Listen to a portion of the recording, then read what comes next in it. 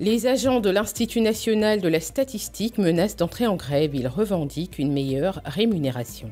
Dans cette édition, nous sommes allés à la rencontre de Franck Comenan, l'ami des malades mentaux.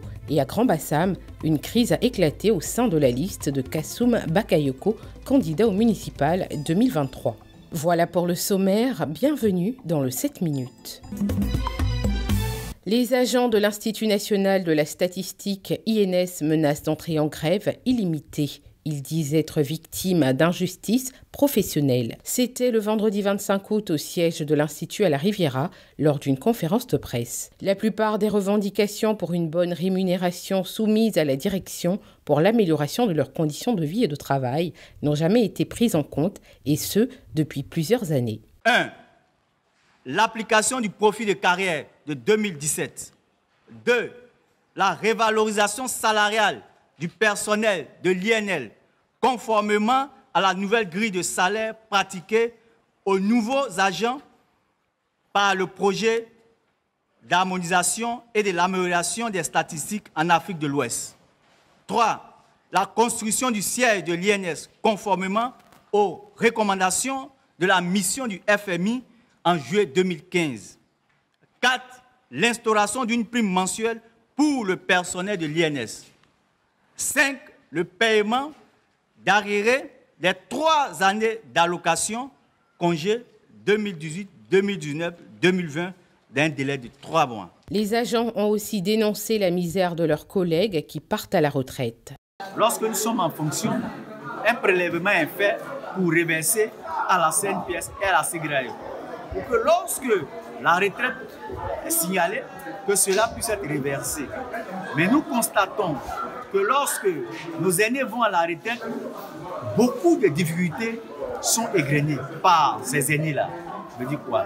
La direction générale, lorsqu'elle prélève ces, ces pensions-là, elle ne verse pas directement à ces caisses-là.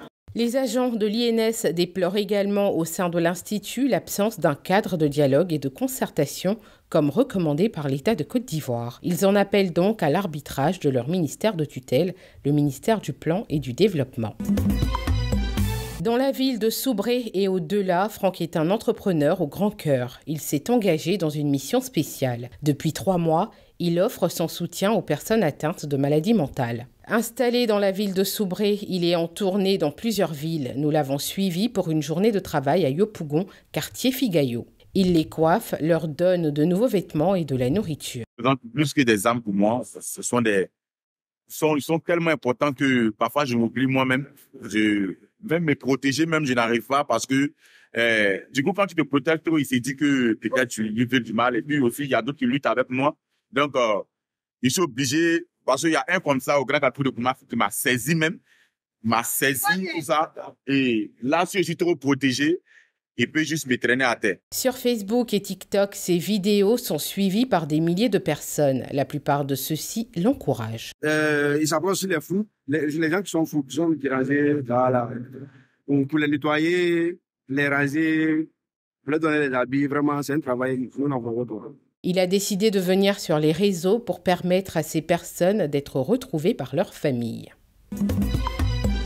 Les élections en Côte d'Ivoire sont presque toujours marquées par des violences. Les dernières dates de 2020. Depuis le 25 août 2023, le pays est entré dans une nouvelle phase électorale avec l'ouverture des campagnes pour les élections locales. Pour ces élections du 2 septembre prochain, des prémices de conflit sont légion, selon l'ONG Aube Nouvelle, dirigée par l'ex-préfet d'Abidjan.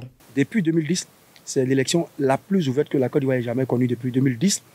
Euh, on a eu, c'était bon exemple en 2021, mais en 2023, on a tous les grands acteurs politiques qui sont présents en Côte d'Ivoire. En 2023, tous les grands acteurs politiques présents en Côte d'Ivoire. Tous les partis politiques qui désirent participer aux élections participent. Et il y a également d'autres facteurs. C'est euh, les événements malheureux survenus au PDCI, euh, que, vous savez. Et ça aussi, ça peut avoir une influence sur la vie politique et les, les situations de parti. Donc il y a des facteurs comme ça qui font que on arrive à définir qu'il y a des zones où il y aura des conflits.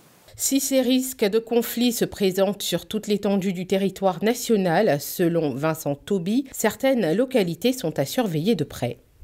Et ces zones à Abidjan, ce sont les 11 communes, euh, sur 13 communes, toutes les communes d'Abidjan, à l'exception d'Agamé et de Trècheville, où les risques peuvent être maîtrisés. Les autres communes, on peut avoir des violences ici et là dans les bureaux de vote pour des raisons diverses euh, que nous avons euh, notées dans le rapport. Au niveau du, territoire national, tous les grands pôles urbains sont des endroits où il faut faire attention. Euh, quand on dit violence, ça ne veut pas dire que les gens seront dans la rue en train de se découper à la machette, mais ça veut dire qu'un bureau de vote peut être saccagé, que des individus peuvent interrompre le vote, qu'il peut y avoir contestation des résultats, et donc ça peut perturber la stabilité, la cohésion locale. Et nous, nous accompagnons ces zones sont euh, la carte que vous avez vue tout à l'heure derrière moi. Pour sa part, l'organisation non gouvernementale annonce la mise en place d'un centre de suivi des conflits pendant les élections locales 2023. Elle fera un monitoring dont le rapport sera rendu public le 13 septembre prochain. Alfred Apagny Tanoé, président de l'association Vision, n'est pas du tout content. Le prince de 34 ans dit avoir été roulé par le nommé Charles Assebou, qui l'aurait inscrit sur la liste Kassoum Bakayoko, candidat indépendant aux élections municipales de Grand Bassam. Ce acte est une marque d'hypocrisie, de mauvaise foi, de malhonnêteté intellectuelle et d'escroquerie morale de la part de M. Assebou et de toute son équipe. Je conteste donc formellement la présence de mon nom sur la liste du candidat indépendant M. Kassoum Bakayoko, pour lequel je n'ai jamais eu d'affinité portant sur ces élections. Cet acte cause énormément de préjudice à Alfred Tanoé, qui compte porter son choix sur le maire sortant Jean-Louis Moulot. Et je profite de la présente occasion qui m'est offerte pour réitérer mes sincères remerciements au premier, premier magistrat de la commune de Grand Bassam, M. Jean-Louis Moulot, pour son altruisme, son sens de la promotion de l'excellence, son amour pour sa commune caractérisé par son dévouement pour le développement de la ville et la volonté affichée de l'autonomisation de ses administrés. Bonne chance à lui dans la course à sa réélection. Je suis de tout cœur avec lui et je serai à ses côtés durant ce marathon est ma vraie place. Il faut noter que les élections municipales sont prévues pour le 2 septembre prochain en Côte d'Ivoire. Voilà qui met fin à cette édition. Merci de l'avoir suivi. L'information continue sur cette info et sur www.cetinfo.ci.